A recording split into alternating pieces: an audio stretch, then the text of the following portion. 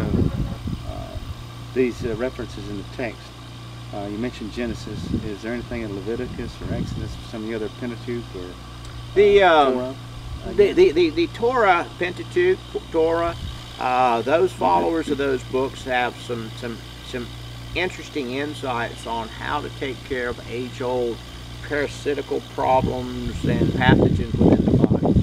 The thing is, is uh, nothing is new under the sun, the things that afflicted them afflict us. The problem is, in my opinion, we have uh, this alternative medicine. You know, we have all these alternative practitioners practicing these alternative medicines. And I mean, there's people that went to medical school because most of these medicines out today, many of them haven't been out five years, 10 years, 20 years. They're all in tests. They're all brand new. It's alternative. It's alternative to the plant.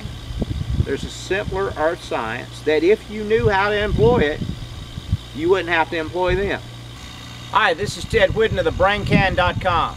We've initiated a, a book project that will probably be limited in scope. We anticipate people will try to shut this book down.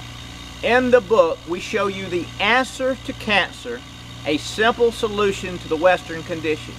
The Western condition is a term, a- an umbrella term we've used to throw over all conventionally modern sickness because they all have a common denominator rather than simple science or, or, or science of the day that chases all these little minute little connections and ethnic connections and all like this, what they have all missed, they've all missed one thing, the common denominator set. Virtually all sickness in the body has a toxic gas buildup associated with every known sickness, pain, or ailment of mankind.